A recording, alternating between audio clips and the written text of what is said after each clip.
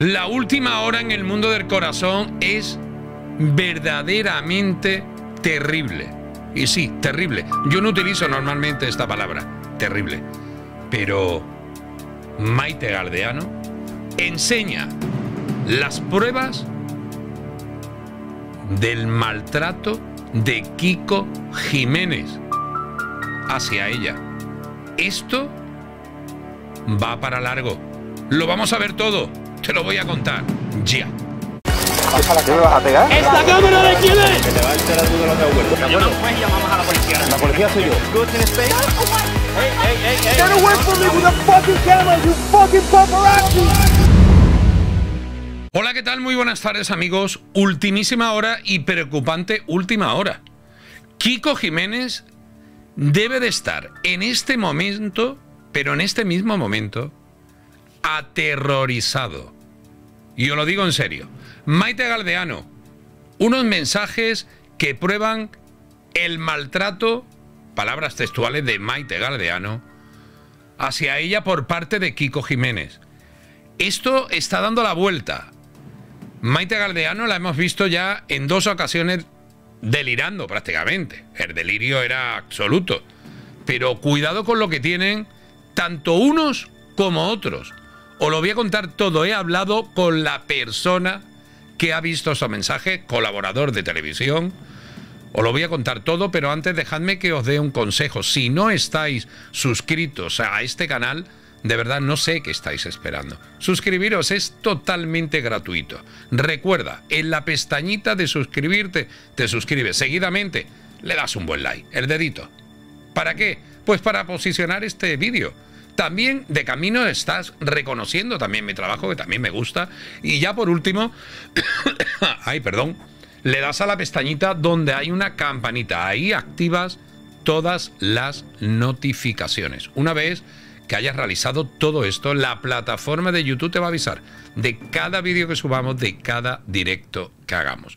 Y ahora sí, os voy a contar, estaba hablando hace un rato, no es que sea mi garganta profunda, es un colaborador de televisión. Colaborador que es muy amigo de Maite Galdeano, la madre de Sofía Suescun, la suegra de Kiko Jiménez.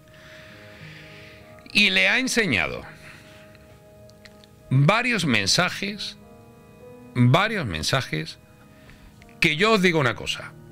Os voy a contar los mensajes, pero si estos mensajes ven la luz tal y como él lo ha visto, es decir, que se vea, que se verifique que ese WhatsApp de verdad es y todo esto, estamos ante el final de Kiko Jiménez en televisión. Debería de ser el final. Hemos visto cosas peores en televisión, pero con esos mensajes, es decir, me cuenta que tienen ni uno, ni dos, ni tres, son más mensajes. Tiene grabaciones de conversaciones con él. Es decir, tiene un verdadero arsenal Maite Galdeano. Verdadero arsenal. Y ahora va a venir lo, lo mejor, ahora lo que os voy a contar ahora. Kiko Jiménez, por un lado, está diciendo que ha denunciado a Maite Galdeano. Yo ayer os dije en un vídeo que a mí me habían dicho que no. A mí me siguen diciendo hoy lunes que es mentira. Que a día de hoy todavía no la ha denunciado. Que a lo mejor la denuncia, yo no digo que no, pero que no diga que la ha denunciado ya, porque no hay denuncia. A mí eso me asegura. Yo no lo he visto. Y lo que yo no veo, la verdad, oye, pues la verdad siempre os lo comento, oye, mira, me han contado esto, pero yo no lo he visto. Pero al final se está cruzando, porque claro, Kiko Jiménez denuncia a Maite, dice él que la ha denunciado. Pero es que Maite, el arsenal que tiene es como para ir mañana y denunciar a Kiko Jiménez también. Y cuidado con la denuncia que puede interponer Maite Galdeano. Cuidado, que es verdad que después habrá que ver cómo está Maite, cómo no está Maite, pero una cosa no quita la otra. Y si Maite es verdad que puede tener cualquier cosa, cualquier trastorno de estrés, de lo que sea, Pero eso no te impide el poder poner una denuncia porque te hayan amenazado o maltratado. Es que cuidado, es decir, aquí estamos hablando de maltrato como muy a la ligera, tanto por un lado como por el otro. Estamos hablando de denuncias cruzadas tanto por un lado como por el otro. Estamos hablando de muchas cosas que son muy graves porque, mirar, llevamos ya hablando de este tema cinco o seis días, ¿no? Cinco días. Y Telecinco, que es la cadena que lo está tocando, porque tiene a todos los integrantes de este culebrón, al final dice, no, es que Maite es que no está bien. Coño, vamos a... Uy, perdón. Si no está bien, ¿por qué seguís hablando de ella? A ver, si no está bien, lo lógico es no hablar de esta persona. Es olvidarte de esa persona, porque si no está bien, no puedes hablar de ella.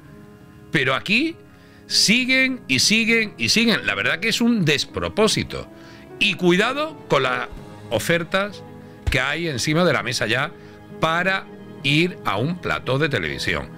Este culebrón, las ganas que tiene también Telecinco es que dure todavía dos o tres semanas. Esas son las ganas que tienen ellos. Vamos a ver lo que dura. Porque esto puede, en cualquier momento puede reventar. Tanto por un lado como por el otro. Maite Galdeano, yo os digo la verdad, yo cuando veo las imágenes de Maite Galdeano, que la hemos visto aquí, a mí no me da muy buena pinta, no tiene muy buena pinta, no me da buena sensación. Veremos a ver lo que puede liar Maite Galdeano en cualquier momento que se le vaya un poquito. Que claro, yo estoy viendo a una Maite Galdeano que será por el estrés, será por lo que sea, pero, hombre, la hemos visto ya dos veces delirando, literalmente. Y, veremos a ver todavía. La prensa en la puerta de su casa. Bueno, la prensa, la televisión. Telecinco en la puerta de la casa de Maite Galdeano en Murcia. Maite Galdeano parece que ahora está tranquila.